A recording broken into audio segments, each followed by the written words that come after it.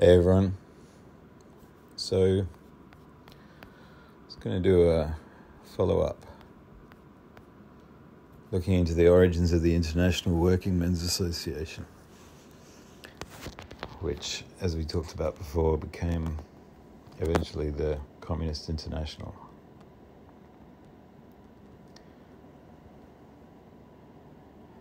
And coming. I mean, the IWA was founded by George Odger, Henri Tolain, Edward Spencer Beesly, and its purpose was defense of the working class, class struggle against capitalism, and establishment of a socialist society. So in Europe, there was a harsh reaction following the widespread revolutions of 1848 and then 20 years later was the next revolutionary action with the founding of the IWA in 1864. And it eventually split over conflicts between statist and anarchist factions. And its origins were following the January uprising in Poland in 1863. French and British workers started to discuss developing a closer relationship Henri Tolain, Joseph Perrachon, Charles Limousin visited London in July 1863, attending a meeting in St James's Hall in honour of the Polish uprising. They discussed the need for an international organisation which would, amongst other things, prevent the import of foreign workers to break strikes. In September 64, French and British delegates again met in London, this time to set up an organisation for sharing labour information across borders. But the so the January uprising in Poland is where we're going.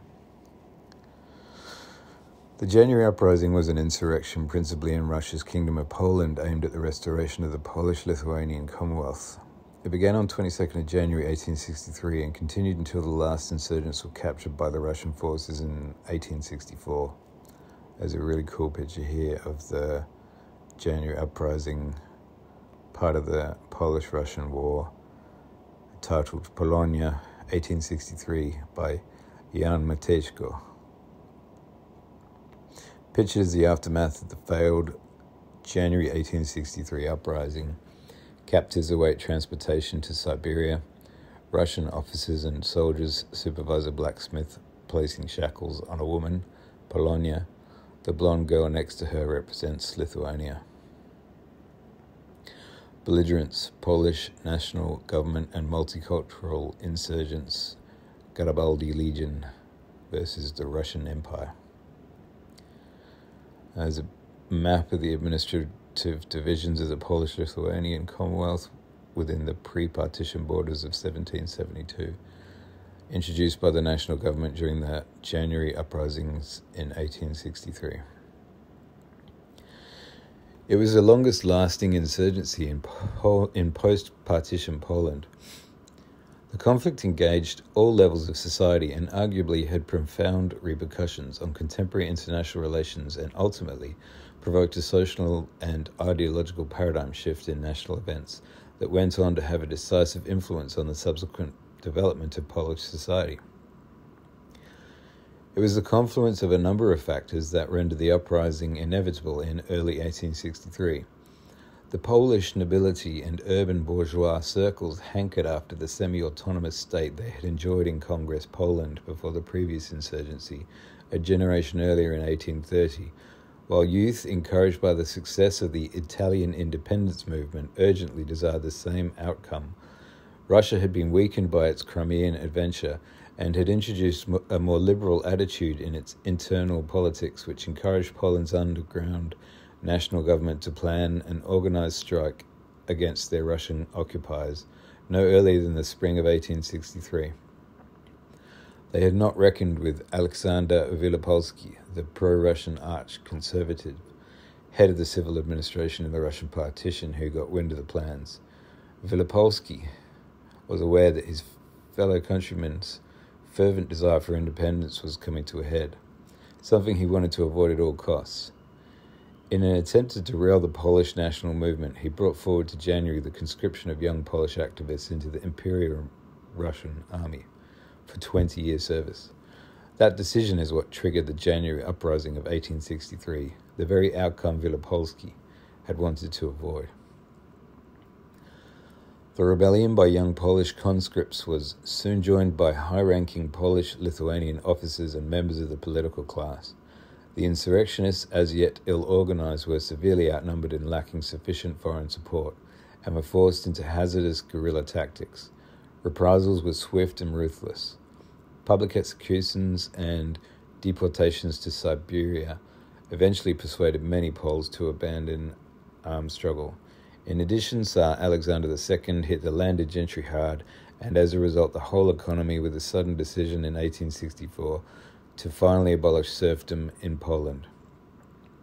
The ensuing breakup of estates and destruction, destitution of many peasants convinced educated Poles to turn instead to the idea of organic work, economic and cultural self improvement.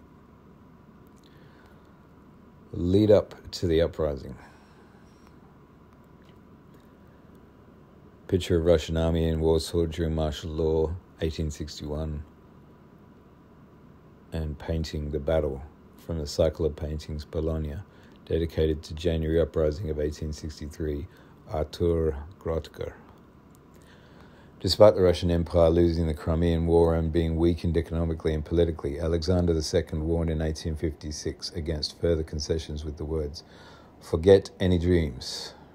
There were two prevailing streams of thought among the population of the Kingdom of Poland at the time one consisting of patriotic stirrings within liberal conservative, usually landed in intellectual circles centered around Andrzej Zamoyski. They were hoping for an orderly return to the constitutional status pre 1830. They became characterized as the whites. The alternative tendency, characterized as the reds, represented a democratic movement uniting peasants, workers, and some clergy. For both streams, central to their dilemma was the peasant question, the PQ. However, estate owners tended to favour the abolition of serfdom in exchange for compensation, whereas the democratic movement saw the overthrow of the Russian yoke as entirely dependent on unconditional liberation of the peasantry.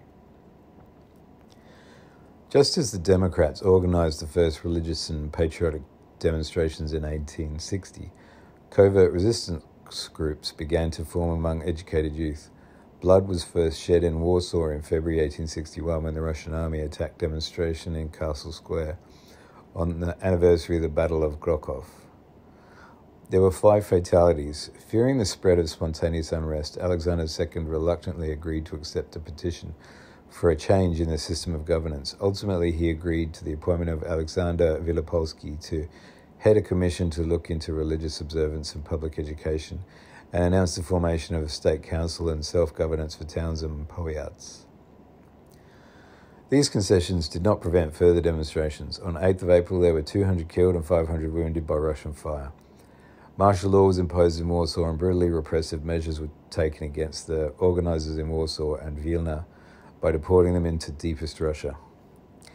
In Vilna alone, 116 demonstrations were held during 1861. In autumn of 1861, Russians had introduced a state of emergency in Vilna Governorate, Kovno Governorate, and Grodno Governorate. These events led to a speedier consolidation of the resistance. Future leaders of the uprising gathered secretly in St. Petersburg, Warsaw, Vilna, Paris, and London. Two bodies emerged from these consultations. By October 1861, the Urban Movement Committee was formed and in June 1862 the Central Nationalist Committee came into, came into being. Its leadership included Stefan Bobrovsky, Jaroslav Dabrowski, Zygmunt Padlewski, Agaton Giller, and Branislav Swarth. This body directed the creation of a national structures intended to become a new secret Polish state. The CNC had not planned an uprising before the spring of 1863 at the earliest.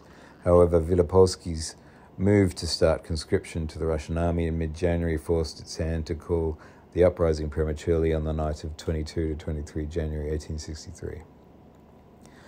Call to arms in the Kingdom of Poland. Picture map Battles of January Uprising in Congress, Poland,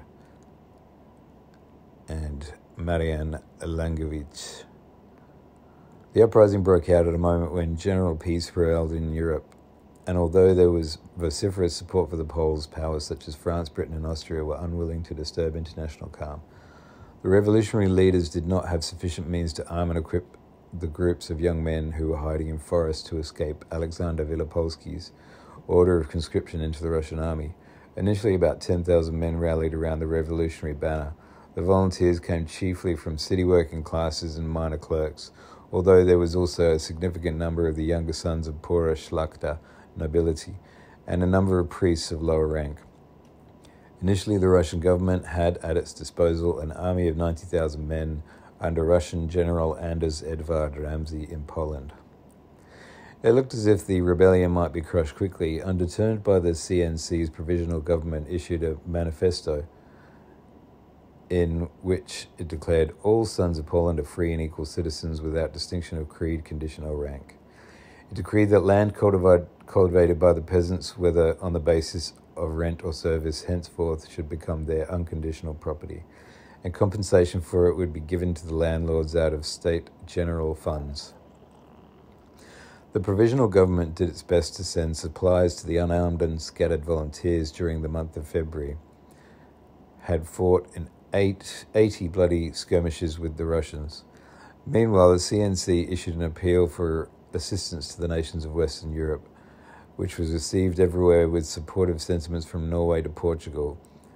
Italian, French, and Hungarian officers answered the call. Pope Pius IX ordered special prayers for the success of the Catholic Poles in their defense against the Orthodox Russians, and was generally active in raising support for Polish rebellion.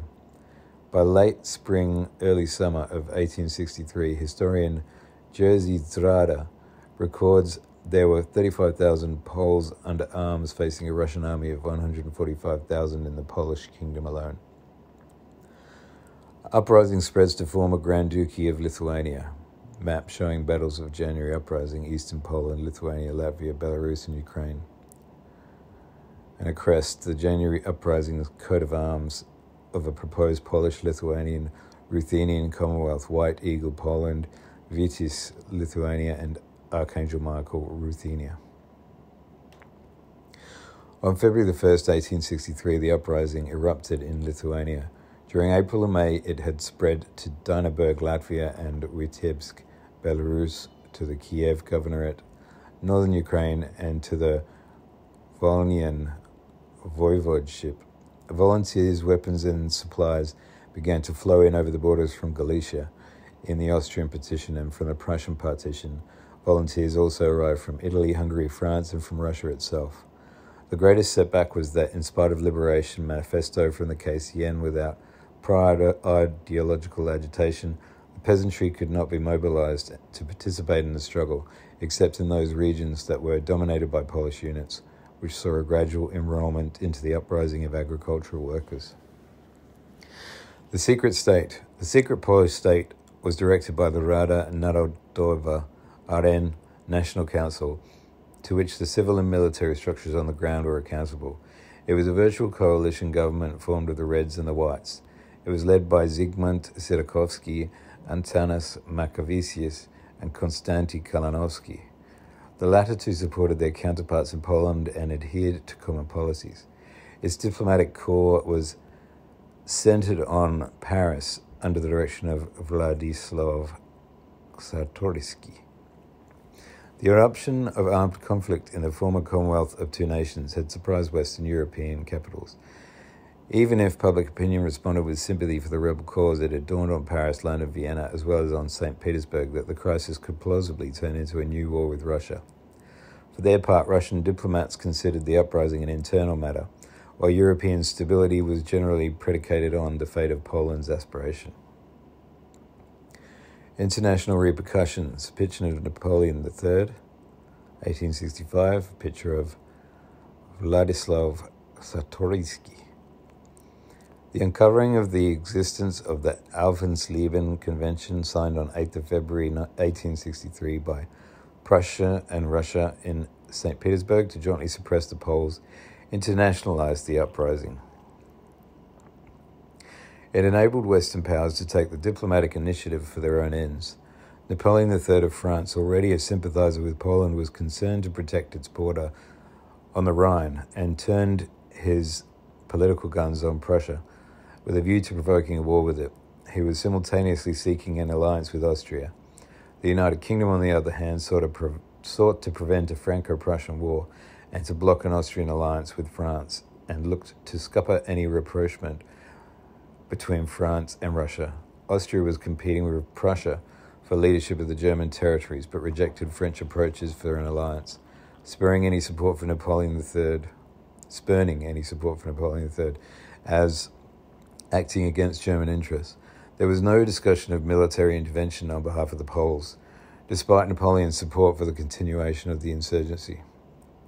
France, the United Kingdom, and Austria agreed a diplomatic intervention in defense of Polish rights, and in April issued diplomatic notes that were intended to be no more than persuasive in tone. The Polish RN was hoping that the evolution of the insurgency would ultimately push Western powers to adopt an armed intervention, which was the flavour of Polish diplomatic talks with those powers. The Polish line was that the establishment of a continued peace in Europe was conditional of the return of an independent Polish state. With the threat of war averted, St. Petersburg left the door open for negotiations but was adamant in its rejection of any Western rights to armed conflict. In June 1863, Western powers iterated the conditions an amnesty for the insurgents, the creation of a national representative structure, and the development of autonomous concessions across the kingdom, a recall of a conference of Congress of Vienna 1815, signatories, and a ceasefire for its duration. This fell well below the expectations of the leadership of the uprising. While concerned by the threat of war, Alexander II felt secure enough with the support of his people to reject the proposals. Although France and the UK were insulted, they did not proceed with further interventions which enabled Russia to extend and finally break off negotiations in September 1863. Outcome on the ground picture of Andriolli, the death of Ludwig Narbut. Apart from the efforts of Sweden, diplomatic interventions by foreign powers on behalf of Poland were on balance unhelpful in drawing attention away from the aim of Polish national unity towards its social divisions. It alienated Austria, which hitherto had maintained a friendly neutrality towards Poland and had not interfered with Polish activities in Galicia. It prejudiced public opinion among radical groups in Russia who until then had been friendly because they regarded the uprising as a social rather than a national insurgency, and it stirred the Russian government into an ever more brutal suppression of hostilities and repression against its Polish participants that had grown in strength. In addition to the thousands who fell in battle, 128 men were hanged under the personal supervision of Mikhail Muravyov, Muravyov the hangman, and 9,423 men and women were exiled to Siberia, 2,500 men according to Russia's own estimates. The historian Norman Davies gives the number as 80,000, noting it was the single largest deportation in Russian history. Whole villages and towns were burned down, all economic and social activities were suspended, and the Szlachta was ruined through confiscation of property and exorbitant taxes. Such was the brutality of Russian troops that their actions were condemned throughout Europe. Count Fyodor Berg, the newly appointed governor namestnik of Poland, and successor to Muravyov, employed harsh measures against the population and intensified system, systematic Russification in an effort to eradicate Polish traditions and culture. Social divisions laid bare. Insurgents of landed background constituted 60% of the uprising's participants. In Lithuania and Belarus, around 50%. In Ukraine, some 75%. During the first 24 hours of the uprising, armories across the country were looted and many Russian officials were executed on site. 2nd of February 1863 saw the start of the first major military engagement of the uprising between Lithuanian peasants mostly armed with scythes and a squadron of Russian hussars outside Sistabuda near Marijampol. It ended with the massacre of the unprepared peasants. While there was still hope of a short war, insurgents groups merged into bigger formations and recruited new volunteers. Evolution of events. Warning this section needs additional citations for verification. Painting Zouaves of Death, an 1863 uprising unit organized by Francois Rochebrune by K. Sariusz Wolski. From a photograph from left, Count Wojciech, Komorowski, Colonel Rochebrune, and Lieutenant Tenant Bella. The provisional government had counted on an insurgency erupting in Russia where wide discontent and with the autocratic regime seemed to be brewing at the time. It also counted on the active support of Napoleon III, particularly after Prussia, expecting the inevitable armed conflict with France, had made overtures to Russia sealed in the Alvensleben Convention. And offered assistance in suppressing the Polish uprising. Arrangements had already been completed on the 14th of February, and the British ambassador to Berlin, Sir Alexander Malet, was able to inform his government that a Prussian military envoy has concluded a military convention with the Russian government, according to which the two governments will reciprocally afford facilities to each other for the suppression of the insurrectionary movements which have lately taken place in Poland and Lithuania. The Prussian railways are also to be placed at the disposal of the Russian army military authorities for the transportation of troops through Prussian territory from one part of the former Polish Lithuanian Commonwealth to another. This step by Bismarck led to protests from several governments and incensed several constituent nations from the, of the former Commonwealth. The result was the transformation of a relatively insignificant uprising into another national war against Russia.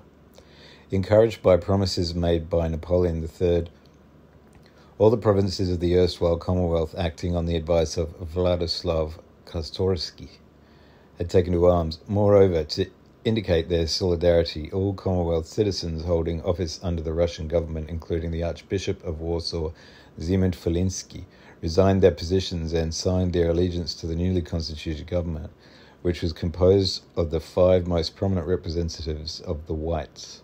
The Reds, meanwhile, criticized the Polish national government for being reactionary with its policy to incentivize Polish peasants to fight in the uprising. The government justified its inaction on the back of the hopes of foreign military intervention promised by Napoleon III. It never materialized. Romuald Traugott. It was only after Polish General Romuald Traugott took matters into his own hands on 17th of October 1863 to unite all classes under a single national banner that the struggle could be upheld. His restructuring and preparation for an offensive in spring 1864 was banking on a European wide war. On 27 December 1863, he enacted a decree of the former provisional government by granting peasants the land they worked. This land was to be provided by compensating the owners through state funds after the successful conclusion of the uprising. Traugott called on all Polish classes to rise against Russian oppression for the creation of a new Polish state. The response was moderate since the policy came too late. The Russian government had already begun working among peasants, granting them generous parcels of land for the asking. Those peasants who had been bought off did not engage with Polish revolutionaries to any extent, nor did they provide them with support. Fighting continued intermittently during the winter of 1863 4 on the southern edge of the kingdom near the Galician border, from where assistance was still forthcoming. In late December, in the Lublin Voivodeship, General Mikhail Hagendrijk's unit was overwhelmed. The most determined resistance continued in the Świętokrzyski Hills, where General Joseph Hauke-Bosak distinguished himself by taking several cities from the vastly superior Russian forces. Yet he too succumbed to a crushing defeat on 21st of February 1864, which presaged the end of the armed struggle. On 29th of February, Austria imposed martial law, and on the 2nd of the March, the Tsarist authorities brought, brought in the abolition of serfdom in the Polish kingdom. These two events neutralized Traugott's concept of developing the uprising with a general mobilization of the population in the Russian partition and reliance on assistance from Galicia. In April 1864, Napoleon III abandoned the Polish cause. Vladislav Czartoryski wrote to Traugott, We are alone, and alone we shall remain. Arrests decimated key positions in the secret Polish state, while those who felt threatened sought refuge abroad. Traugott was taken on the night of 10th of April after he and the last four members of the National Council, Antoni Jezeransky, Rafael Krajewski, Joseph Toczyski, and Roman Zulinski, had been apprehended by Russian troops. They were imprisoned and executed by hanging on 5th of August at the Warsaw Citadel. It marked the symbolic closure of the uprising. Only Alexander Waskowski, head of the Warsaw insurgency, eluded the police till December 1864, but then he too joined the list of the lost in February 1865. The war, consisting of 650 battles and skirmishes with 25,000 Polish and other insurgents killed, had lasted 18 months. It is worthy of note that the insurgency persisted in Samogitia and Podlasie, where the Greek Catholic population outraged and, and persecuted for their religious observance, Kryaki, those baptized into the Greek Orthodox Church, and others like commander and priest Stanislav Broska, clung longest to the revolutionary banner until the spring of 1865. The decades of reprisals. Picture of Malczewski, Christmas Eve in Siberia. After the collapse of the uprisings, harsh reprisals followed. According to the official Russian information, 396 person, persons were executed and 18,672 were exiled to Siberia. Large numbers of men and women were sent to the interior of Russia and to the Caucasus, Urals, and other remote areas. Altogether, about 70,000 persons were imprisoned and subsequently exiled from Poland and consigned to distant regions of Russia. The abolition of serfdom early in 1864 was deliberately enacted in a move designed specifically to ruin the Szlachta. The Russian government confiscated 1,660 estates in Poland and 1,794 in Lithuania. A 10% income tax was imposed on all estates as war indemnity. Only in 1869 was the tax reduced to 5% on all incomes. It was the only time when peasants paid the market price for redemption on the land, the average for the Russian Empire was 34% above the market price. All land taken from Polish peasants since 1864 was to be returned without compensation rights. Former serfs could only sell land to other peasants, not to Szlachta. 90% of the ex serfs in the empire who actually gained land after 1861 were confined to the eight western provinces. Along with Romania, Polish landless or domestic serfs were the only people eligible for land grants after serfdom was abolished. There's a painting, Farewell to Europe by Alexander A. Sochaczewski. The artist himself is among the exiled here near the obelisk on the right. All this was to punish the Szlachta's role in the uprisings of 1830 and 1863. In addition to the land granted to the peasants, the Russian government gave them forest, pasture, and other privileges, known under the name of servitudes which provided to be a source, which proved to be a source of incessant irritation between the landowners and peasants over ensuing decades, and in and an impediment to economic development. The government took over all church estates and funds and abolished monasteries and convents. With the exception of religious instruction, all teaching in schools was ordered to be in Russian. Russian also became the official language of the country, used exclusively in all offices of central and local government. All traces of former Polish autonomy were removed, and the kingdom was divided into ten provinces, each with an appointed Russian military governor, and all under the control of Governor General in Warsaw. All former Polish government functionaries were deprived of their positions and replaced by Russian officials. According to George Kennan, thousands of Polish insurgents were transported to the Nerchinsk silver mining district after the unsuccessful insurrection of 1863. Legacy These measures of cultural eradication proved to be only partially effective. In 1905, 41 years after Russia crushed the uprising, the next generation of Poles rose once again in the next insurrection. It too failed. The January uprising was one in a centuries long series of Polish uprisings. In its aftermath, two new movements began to evolve that set the political agenda for the next century one led by the descendant of Lithuanians Józef Pilsudski, emerged as the Polish Socialist Party.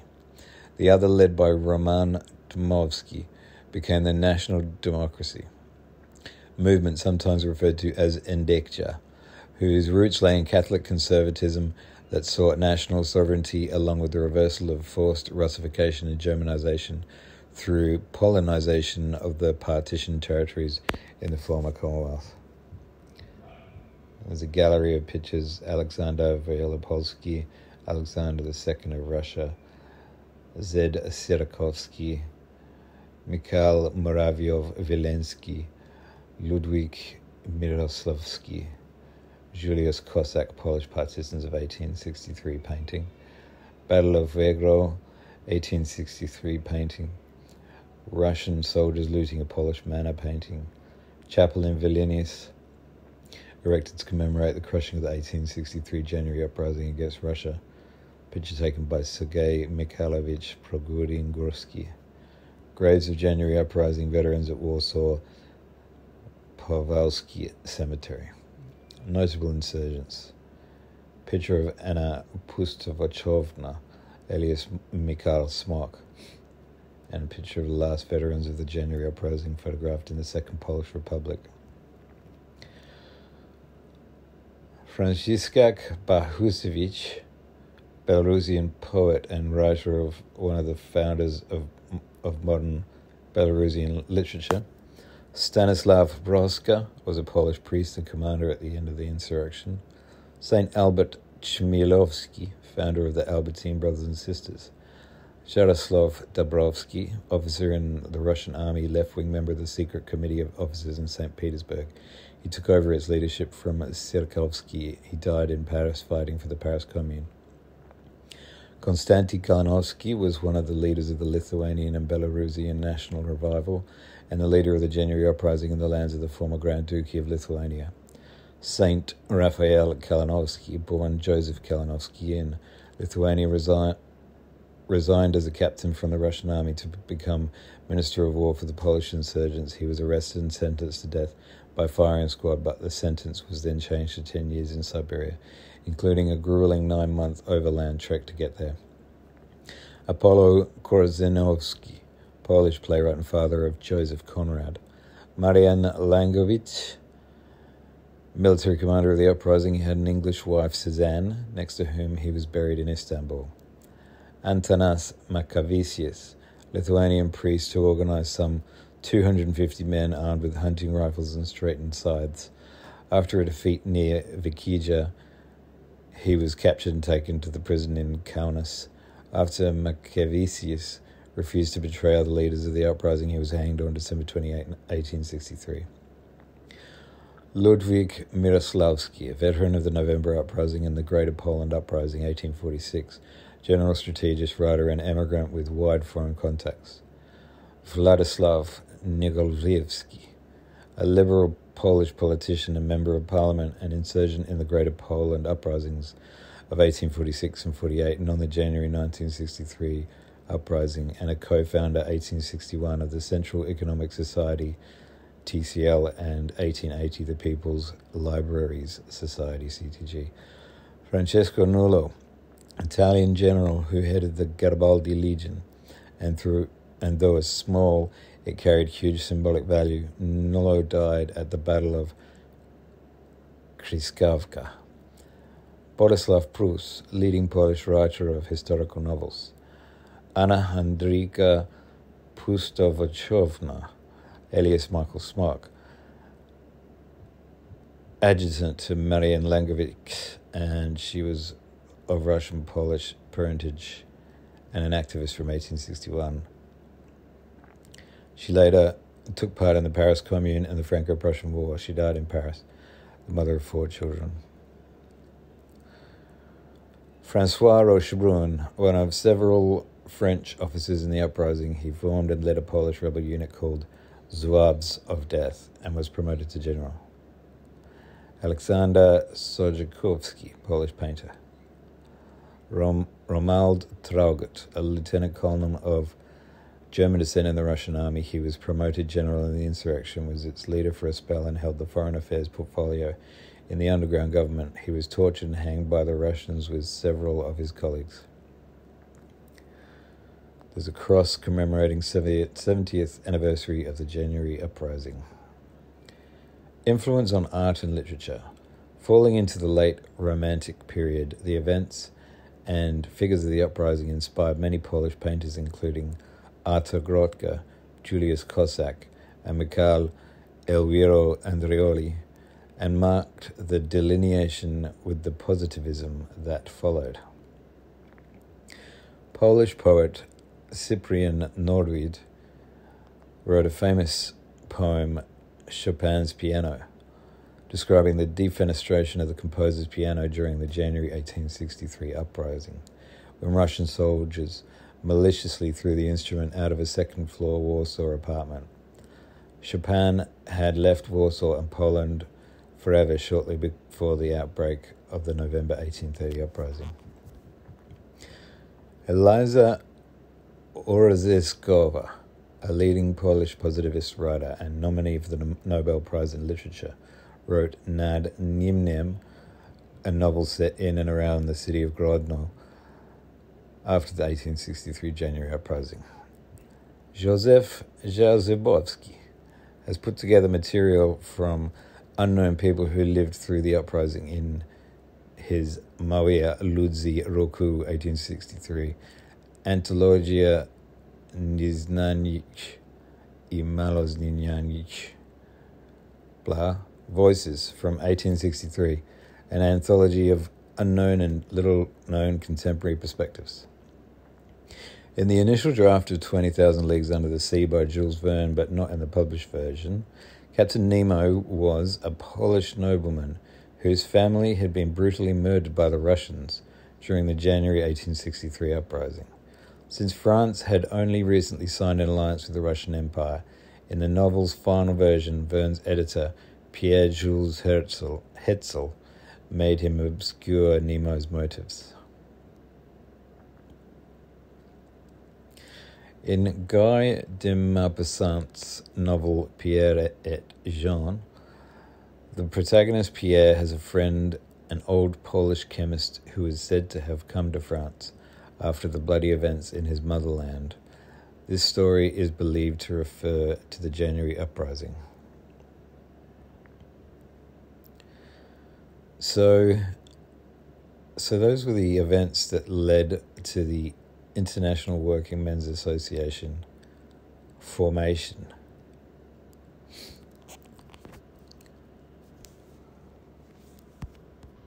So I'm going to go now to talk about Congress Poland or Russian Poland, formerly known as the Kingdom of Poland, was a polity created in 1815 by the Congress of Vienna. As a sovereign Polish state, it was established in the Russian sector after Poland was partitioned by the Habsburg monarchy, Russia and Prussia. Until the November uprising in 1831, the kingdom was in a personal union with the Tsars of Russia. Thereafter, the state was forcibly integrated into the Russian Empire over the course of the 19th century. In 1915, during World War I, it was replaced by the Central Powers with the nominal Regency Kingdom of Poland until Poland regained independence in 1918. And I think we should go to the Congress of Vienna after this.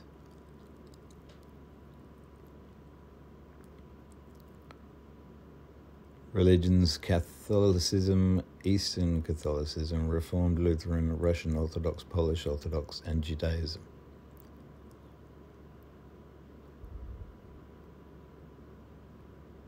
History Congress of Vienna, 9th of June 1815. Constitution adopted 27th of November. November Uprising, 29th of November 1830. January Uprising, 23rd of January 1863. Vistula land, established 1867, lost to Germany during World War I, 1915.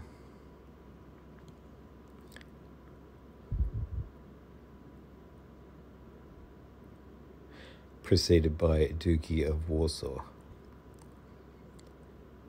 Today part of Belarus, Lithuania, and Poland.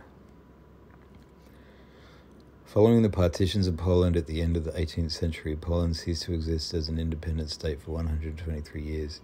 The territory, with its native population, was split between the Habsburg monarchy, the Kingdom of Prussia, and the Russian Empire. After 1804, an equivalent to Congress Poland within the Austrian Empire was the Kingdom of Galicia and Lodomeria. also commonly referred to as Austrian Poland. The area incorporated into Prussia and subsequently the German Empire had little autonomy and was merely a province, the province of Posen.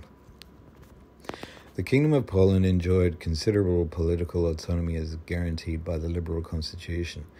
However, its rule of the Russian emperors generally disregarded any restrictions on their power. It was therefore little more than a puppet state of the Russian Empire.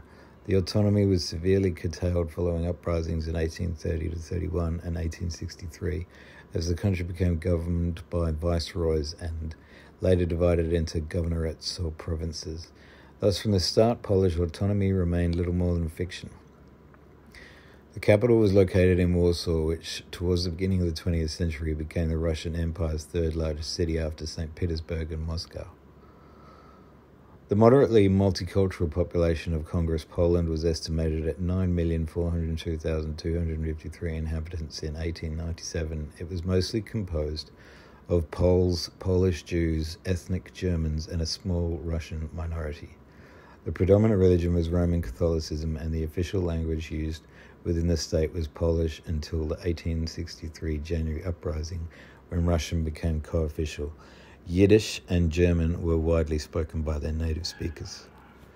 The territory of Congress Poland roughly corresponds to modern day Kalisz region and the Lublin, Lodz, Mazovian, Podlaski, and Holy Cross voivodeships of Poland, as well as southwest Lithuania and part of Grodno district of Belarus. Naming Although the official name of the state was the Kingdom of Poland, Królestwo Polski, in order to distinguish it from other kingdoms of Poland, it's sometimes referred to as Congress of Poland. The Kingdom of Poland was created out of the Duchy of Warsaw a French client state at the Congress of Vienna in 1815 when the great powers reorganized Europe following the Napoleonic Wars. The kingdom was created on part of the Polish territory that had been partitioned by Russia, Austria, and Prussia, replacing, after Napoleon's defeat, the Duchy of Warsaw. Set up by Napoleon in 1807 after Napoleon's 1812 defeat, the fate of the Duchy of Warsaw was dependent on Russia. Prussia insisted on the Duchy being completely eliminated, but after Russian troops reached Paris in 1812, Tsar Alexander I originally intended to annex the Duchy, the Lithuanian Belarusian lands now controlled by the Tsardom, which used to be part of the First Polish Republic, and to unite, thus created Polish county with Russia, country with Russia. Both Austria and the United Kingdom disapproved of that idea, Austria issuing a memorandum on returning to the 1795 resolutions. This idea, supported by the United Kingdom under George IV and Prime Minister Robert Jenkinson, and the British delegate to the Congress, Robert Stewart, Viscount Castlereagh. So, in effect, the Tsar, was, after the so called Hundred Days, established the Kingdom of Poland, and the 1815 Congress of Vienna approved. After the Congress, Russia gained a larger share of Poland with Warsaw, and after crushing an insurrection in 1831, the Congress kingdom's autonomy was abolished and Poles faced confiscation of property, deportation, forced military service, and the closure of their own universities. The Congress was important enough in the creation of the state to cause the new country to be named for it. The kingdom lost its status as a sovereign state in 1831, and the administrative divisions were reorganized. It was sufficiently distinct that its name remained in official Russian use, although in the later years of Russian rule it was replaced with the Prevyslinsky Krai.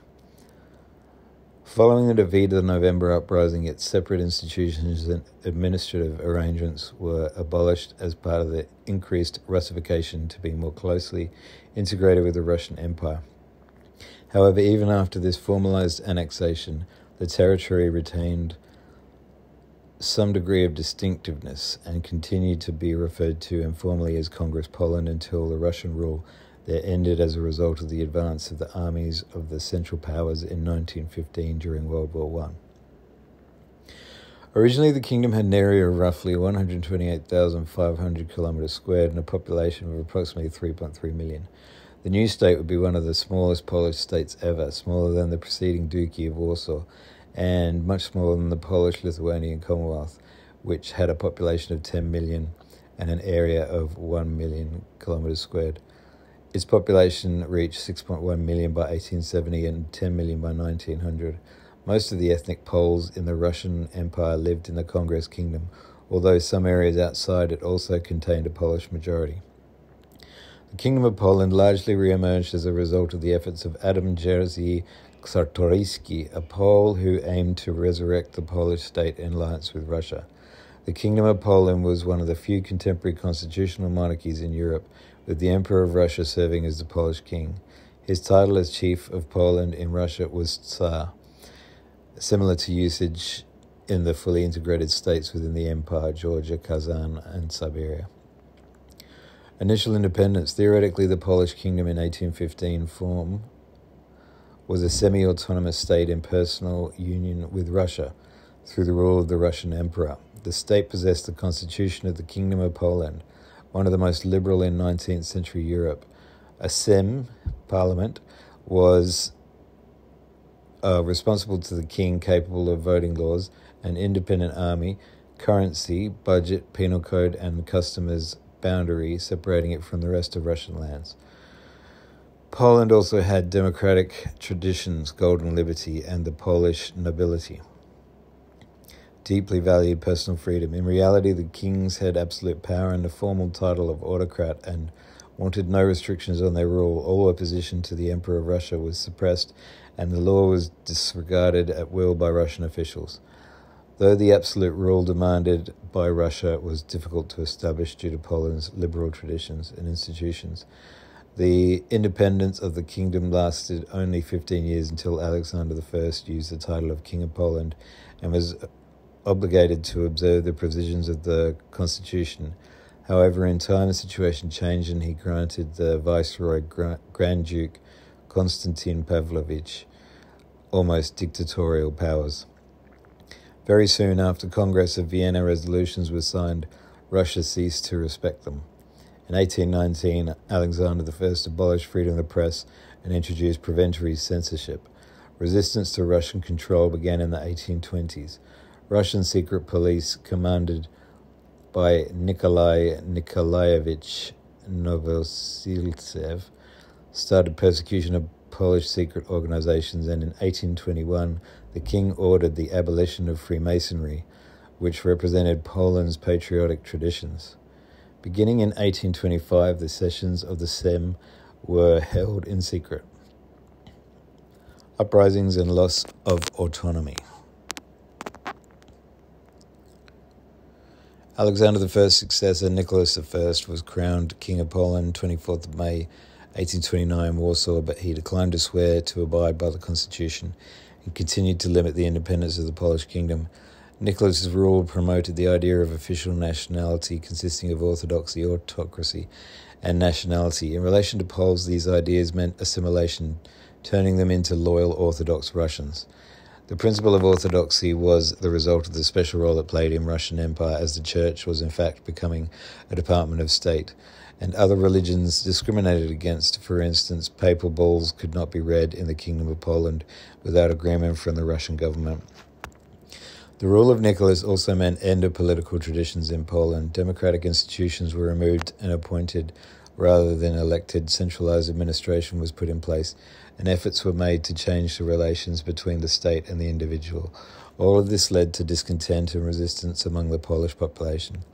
In January 1831, the Sejm disposed Nicholas I as King of Poland in response to his repeated curtailing of its constitutional rights. Nicholas reacted by sending Russian troops into Poland, resulting in the November uprising. Following an 11 month military campaign, the Kingdom of Poland lost its semi independence and was integrated much more closely with the Russian Empire. This was formalized through the issuing of the Organic Statute of the Kingdom of Poland by the Emperor in 1832, which abolished the constitution, army, and legislative assembly. Over the next 30 years, a series of measures bound Congress Poland ever more closely to Russia. In 1863, the January uprising broke out, but lasted only two years before being crushed. As a direct result, any remaining separate status of the kingdom was removed and the political entity was directly incorporated into the Russian Empire. The unofficial name Privyslinsky Krai, Russian, Vistula land, replaced Kingdom of Poland as the area's official name, and the area became a namestnictwo under the control of Namiestnik until 1875, when it became a gubernia.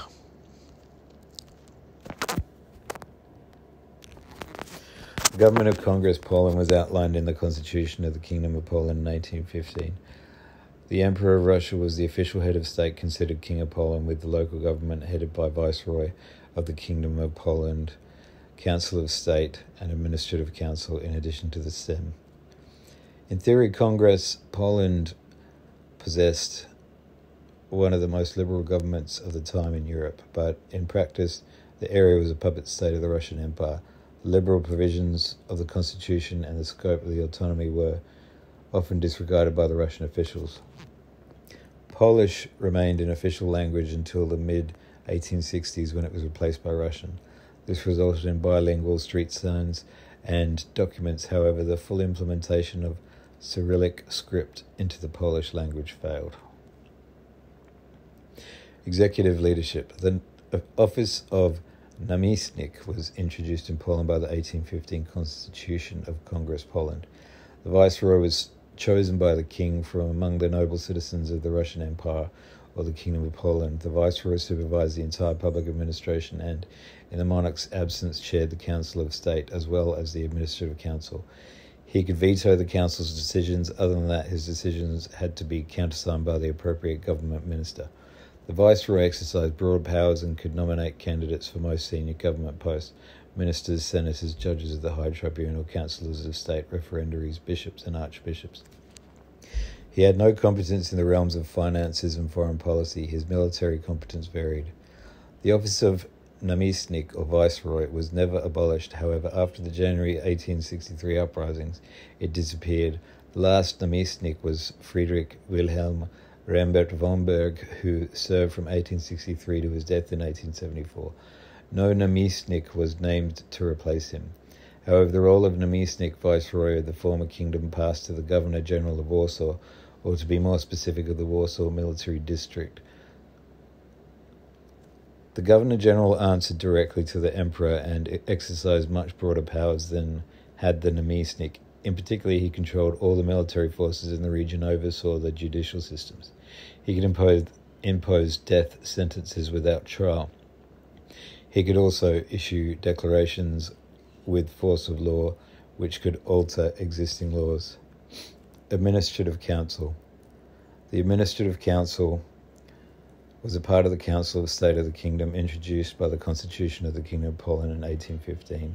It was composed of five ministers, special nominees of the king, and the viceroy of the Kingdom of Poland. The council executed the king's will and ruled in the cases outside the minister's competence and prepared projects for the Council of State. Administrative divisions of the kingdom changed several times over its history, and various smaller reforms were also carried out, which either changed the smaller administrative units or merged, split various subdivisions. Immediately after its creation in 1815, the Kingdom of Poland was divided into departments, a relic from the times of the French dominated Duchy of Warsaw. On 16 January 1816, the administrative division was reformed, with the departments being replaced with more traditionally Polish voivodeships, of which there were eight obwods and powiats. On 7 March 1837, in the aftermath of the November uprising earlier that decade, the administrative division was reformed again, bringing Congress Poland closer to the structure of the Russian Empire. With the introduction of gubernias, governorate, Polish spelling gubernia, in 1842 the powiats were renamed okregs and the obwods were renamed powiats. In 1844, several governorates, governorates were merged with others, and some others renamed. Five governorates remained. In 1867, following the failure of the January uprising, further reforms were instituted which were designed to bring the administrative structure of Poland, now de facto the Vistulan country, closer to that of the Russian Empire. It divided larger governorates into smaller ones, introduced the Gmina, a new lower level entity, and restructured the existing five governorates into ten. The 1912 reform created a new governorate, Kholm Governorate, form from parts of the Sedlets and Lublin governorates. It was split off from the Vistulan country and made part of the southwestern krai of the Russian Empire. Economy Despite the fact that the economic situation varied at times, Congress Poland was one of the largest economies in the world. In the mid 1800s, the region became heavily industrialized. However, agriculture still maintained a major role in the economy. In addition, the export of wheat, rye, and other crops was significant in stabilizing the financial output. An important trade partner of Congress Poland was the Russian Empire, and the Russian Empire was Great Britain which imported goods in large amounts. Since agriculture was equivalent to 70% of the national income, the most important economic transformations included the establishment of mines and the textile industry. The development of these sectors brought more profit and higher tax revenues. The beginnings were difficult due to floods and intense diplomatic relationship with Prussia. It was not until 1822 when Prince Francis Xavier Drucki Lubecki negotiated to open the Polish market to the world. He also tried to introduce appropriate protective duties. A large and profitable investment was the construction of the Augustów Canal connecting Narew and Nieman rivers, which allowed to bypass Danzig and high Prussian tariffs. Drucki Lubecki also founded the Bank of Poland, for which he is mostly remembered. The first Polish steam mill was built in 1828 in Warsaw Solek. The first textile machine was installed in 1829. Greater use of machines led to the production in the form of workshops. The government was also encouraging foreign specialists, mostly Germans, to upkeep larger establishments or to undertake production. The Germans were also relieved of tax burden. This allowed to create one of the largest European textile centers in Lodz and in its surrounding towns like or- Ozorkov and Zduńska Wola. These small and, insig- and initially insignificant settlements later developed into larger multicultural cities where Germans and Jews were the majority in the population. With the abolition of border customs in 1851 and further economic growth, Polish cities were gaining wealth and importance most notably Warsaw being associated with the construction of railway lines and bridges gained priority in the entire Russian market. Although the econ- economic and industrial progress occurred rapidly, most of the farms, called folwarks, chose to rely on serfs and paid workforce. Only a few have experimented by obtaining proper machinery and ploughing equipment from England. New crops were being cultivated like sugar beet, which marked the beginning of Polish sugar refineries. The use of iron cutters and ploughs was also favoured among the farmers. During the January uprising, the occupying authorities sought to deprive peasant insurgents of their popularity among landed gentry. Taxes were raised, and the overall economic situation of commoners worsened. The noblemen and landowners were, on the other hand, privileged, provided with more privileges, rights, and even financial support in the form of bribery. The aim of this was to weaken their support for the rebellion against the Russian Empire. Congress Poland was the largest supplier of zinc in Europe. The development of zinc industry took place at the beginning of 19th century. It was mostly caused by the significant increase of demand for zinc, mainly in industrialized countries of Western Europe. In 1899, Alexander Ginsburg founded the company FOS factory of op- optical equipment in Warsaw. It was the only firm in the Russian Empire which crafted and produced cameras, telescopes, objectives, and stereoscopes. Following the outbreak of World War I, the factory was moved to St. Petersburg. And then it goes to demographics. Composition in 1897 by language Polish 71.8%, Jewish 13.5%, German 4.3%, Ukrainian 3.6%, Lithuanian 3.2%, Russian 2.8%, Belarusian 0.3%.